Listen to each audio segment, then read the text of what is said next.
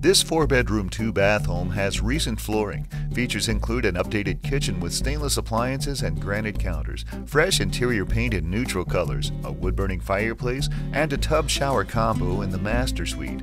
Also, mature trees surround the cul de sac lot, and the neighborhood offers a pool. Call Bob for more details.